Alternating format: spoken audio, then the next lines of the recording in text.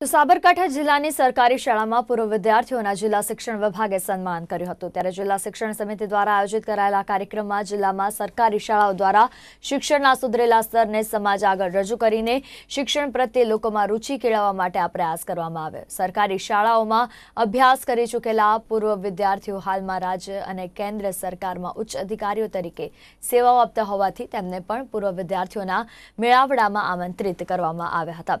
અધિકારીઓ ઉપરાંત રાજકીય પદાધિકારીઓ અને અન્ય સફળ ઉદ્યોગ સંચાલકોને પણ આમંત્રિત કરવામાં આવ્યા હતા.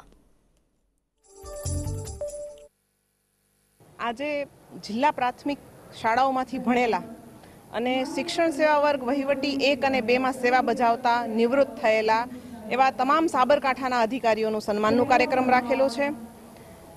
આ બધા જ અમારી પ્રાથમિક શાળાઓમાં અભ્યાસ કરી અને આજે ઉચ્ચ હોદ્દા શોભાવી રહ્યા છે, શિક્ષણ સેવામાં પોતાનું યોગદાન આપી રહ્યા છે.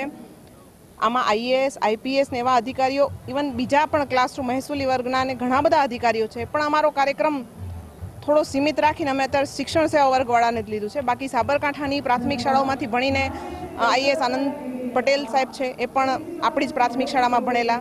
એમઆઈ જોશી સાહેબ છે, એ પણ ઈડરની પ્રાથમિક શાળામાં ભણેલા. આમ સરકારી પ્રાથમિક શાળાનું શિક્ષણ કોઈ એમ કહે કે ખાડે ગયું છે, તો હું એમ કહીશ કે આ અમારા પ્રાથમિક શિક્ષકો માટે પ્રોત્સાહન છે કે અહીં ભણતા બાળકો ભારતના ભાવિ માટેના છે. એનામાંના જ એક કોઈ આઈએએસ, આઈપીએસ બનશે, કોઈ સાયન્ટિસ્ટ બનશે, કોઈ શિક્ષણમાં સેવા આપશે, કોઈ રાજકારણમાં સેવા આપશે.